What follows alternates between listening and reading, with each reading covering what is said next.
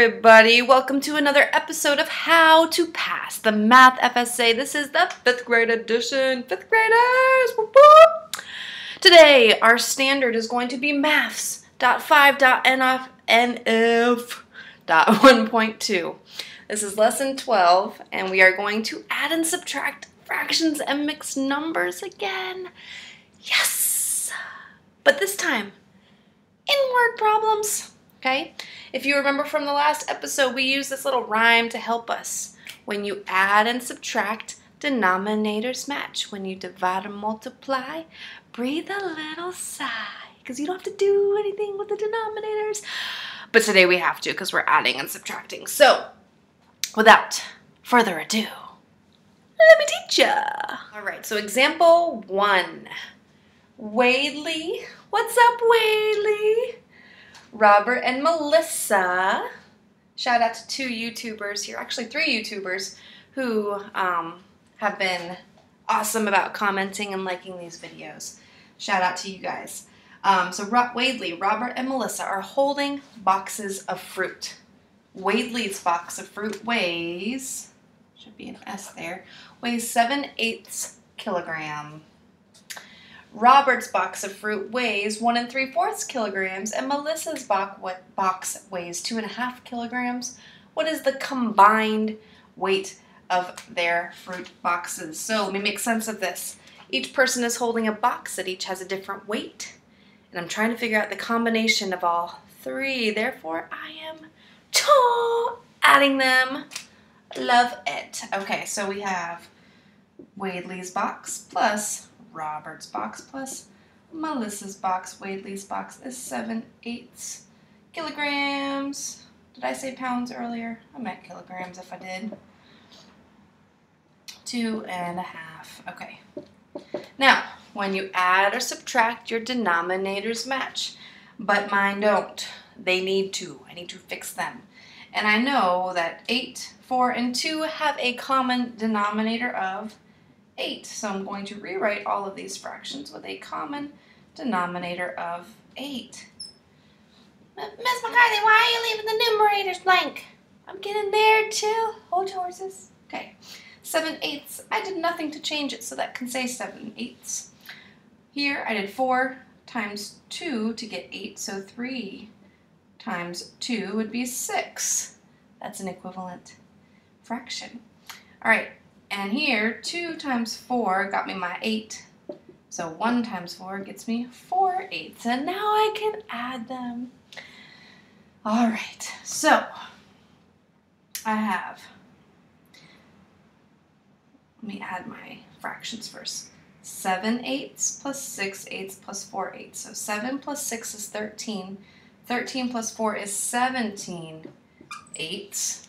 And 1 and 2 is 3. And if you write 3 and 17 eighths in here, oh, don't do it. Why? Because my numerator right here is way greater than my denominator. And I have a, a, a whole number there. I need to make this into a better, more appropriate mixed number. So to do that, I can take out one more 8 here, which will get me 4 wholes. Then I'm left with 9 eighths, but I can still take out another 8, which would get me 5 wholes. 9 minus 1, I'm sorry, 9 minus 8 is, can you see this? Let me do it over here. You can take, so I take away another 8, and that would give me 5 and 1 eighths. So that is what goes in here, 5 and 1 eighths. Or you could also do 41 eighths, which would be the improper fraction there. Cool. Groovy. Let's write. Example two. Wyatt and Jaden each bought a cherry pie. That sounds delicious right now. The pies are the same size. Wyatt cuts his pie into 10 slices. But Jaden cuts his pie into 5 slices. And we know that Jaden eats one slice. Together, Wyatt and Jaden ate 7 tenths of one pie. How many slices of pie did Wyatt eat? So let me make sense of this problem. They each bought a cherry pie. So we have Wyatt and we have Jaden. We know Wyatt cut his pie into 10 slices. Boom. These are not very equal slices, but I want you to use your amazing um, imaginations and imagine that they are equal, just visualizing a little bit, okay? All right, so there we go. We know that Jaden had one slice. We don't know how much Wyatt has, but together they ate seven tenths. So we know that he has 10 slices. We don't know how many he ate. We know that Jaden ate one fifth, and then together they ate seven tenths. These, this looks a little similar to our last episode where we had a missing numerator. Okay, so I want to add these fractions kind of, but look, my denominators aren't the same, so I need to rewrite this so that my denominators are the same. So, I know that the common denominator would be 10 equals 7 tenths. So we don't know 5 times 2 got me my 10, so 1 times 2 will give me 2. So what plus 2 will give me 7? You're right, 5.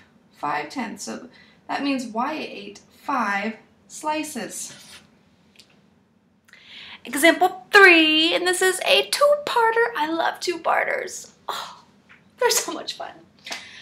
James, what's up James? Worked as a safety patrol for three and one third hours this week. Adrian, what's up, Adrian? Worked as a safety patrol for one and two fifths hours this week. How many more hours did James work than Adrian? How many more means that I'm subtracting? Part A says create an equation to represent the situation above. So I have, let me see.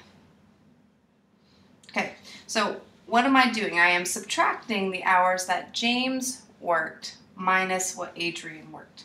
So James worked three and one third. So I would take this on the computer and drag it in minus two fifths. Sorry, one and two fifths equals er, H, my variable for hours, because that's all that I'm missing. But now I need to solve it. How many more hours did James work than Adrian? So let me write it over here. Minus 1 and 2 fifths hours. Do my denominators match? Nope, but I need to make a match. So 3 and 5, they share a common denominator of 15. Ah, okay. 3 times 5 gets me my 15. 1 times 5 gets me 5. Boom. 5 times 2, e no it does not. Erase that, Miss McCarthy. 5 times 3 equals 15, so 2 times 3 equals 6. And now I need to subtract, and remember when we subtract, we need to subtract the fractions first. 5 fifteenths minus 6 fifteenths, you can't do it, so you need to regroup. So this 3 becomes a 2. When I do that, I have 15 parts that I distribute to the numerator, so plus 15. Rewrite it. 2 and 20 fifteenths, because 5 plus 15 equals 20. Minus 1 and 6 fifteenths. All right. Now I can subtract. So 20 fifteenths minus 6 fifteenths would give me 14 fifteenths. 2 minus 1 would be 1. So it would be 1 and 14 fifteenths would be my answer. Or 29 fifteenths, right? Yeah, 29 fifteenths. If you are totally lost on what I just did, go back and rewind and watch how I regrouped the fractions to make it so I could subtract them. And then write down some more problems where your first fraction is less than the second one so you can practice regrouping too. Last one. Azul, hi Azul, runs 5 eighths of a mile. She decides to run a little bit longer. After her run, Azul says that now she has run 7 twelfths of a mile. Explain why Azul's statement is incorrect. You're wrong, Azul. Okay, so she says that she runs 5 eighths of a mile. And then she says oops, that now she has run 7 twelfths. So she's saying that she went 5 eighths, then she ran some more, and her total is 7 twelfths after her run. All right, so what I need to do is get my common denominator here because 8 and 12, they don't match, and when I add or subtract, my denominators match.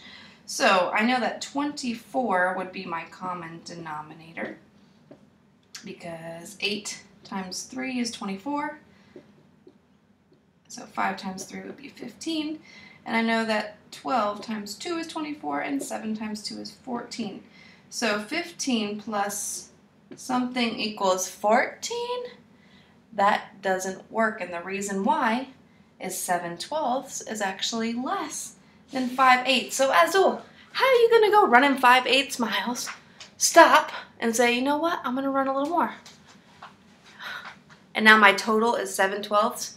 No, doesn't make sense because 7 twelfths is less than 5 eighths. So, here's what I'm going to write. Azul's statement is incorrect because seven twelfths, the total